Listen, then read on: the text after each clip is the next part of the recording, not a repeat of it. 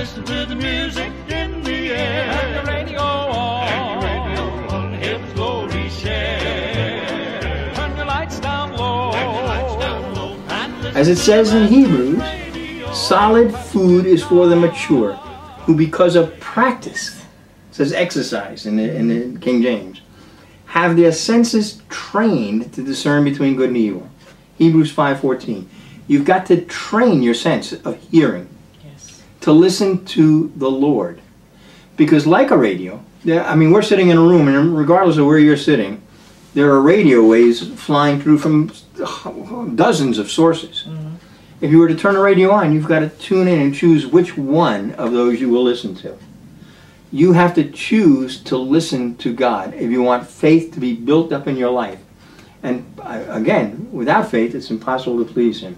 This is the victory that overcomes the world in us, is our faith. Amen. Listen to the Lord. Listen. Listen. Sometimes it may be that, that rolling thunder. Sometimes it may be that still small voice.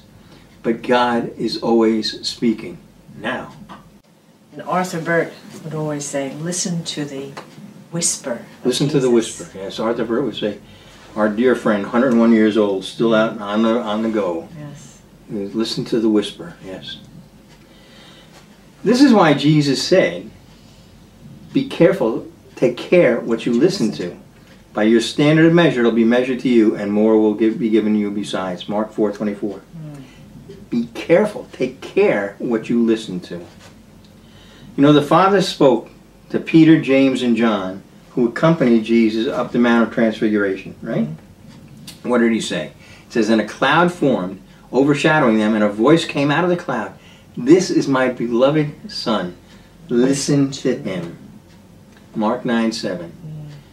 I mean, this is, you know, I, I pray that that verse just becomes alive in your heart.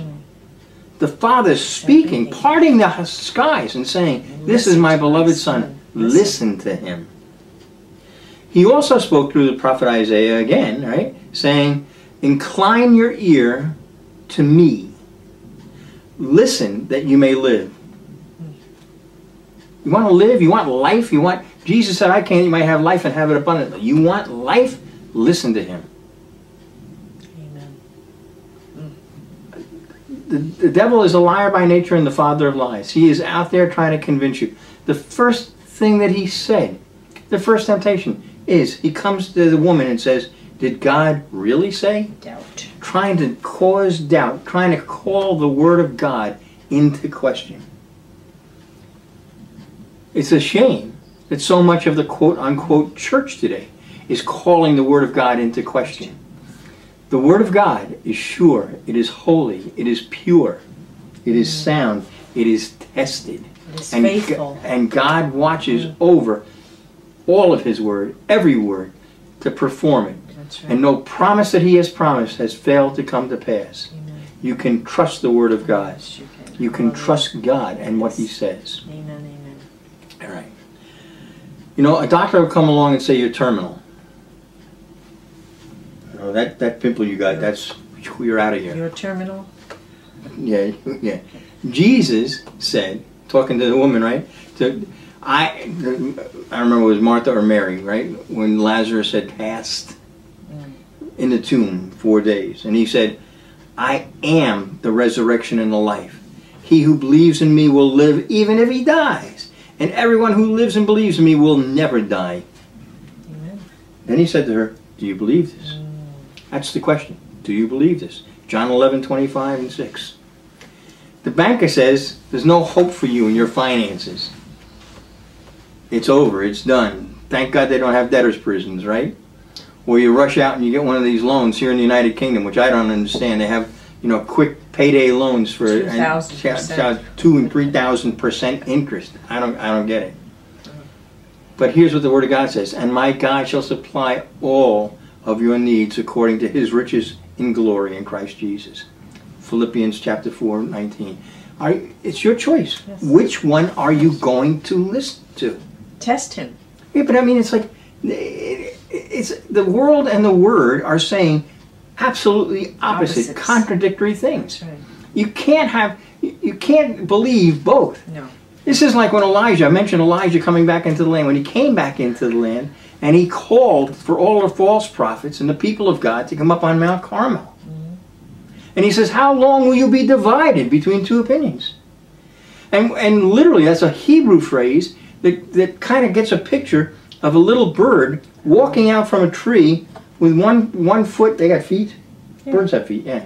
One foot on one limb and one foot on the other limb. And as they walk, you know, it gets farther and farther apart. You either choose one, I mean, uh, or you're going to fall down through the middle. But you can't walk on both. You can't walk spiritually with one foot in the world and one foot in the Word without falling to your death. So choose which one is going to be the guiding factor in your life. Should I remind you what it says in Psalm 119? Thy word is a lamp to my feet and a light to my path. Psalm 23. He leads us in paths of righteousness for his name's sake. He leads us with his word, that light of his word. It is your choice whether you'll follow that or not. Or you will believe all of the adverts and all of the things that the world is out there screaming. Because you want to know something? This present world is in the power of the evil one, it says in 1 mm-hmm. John 5. So you're either listening to Jesus or you're listening to Satan.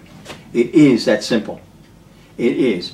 You know, the world would have you believe everything is much more complex than it's, than it's money. It's very simple. Yes, it is black and white. No, there is no fence to sit on. There is no gray area. It's either Jesus or Satan. Jesus said, You are either for me or against me. And it's up to you to choose. It is, God is pro choice. He said, I set before you, Deuteronomy chapter 30, he said, I set before you life and death, the blessing and the curse. Choose life that you may live. He gives you the choice. Yes, he does. He also tells you the right choice to make. But it is your choice. Silver and gold, wealthy are much. But if I had to choose, you know I choose his touch. For without it, I am sure I'd die. If I had to choose, this is what I'd try.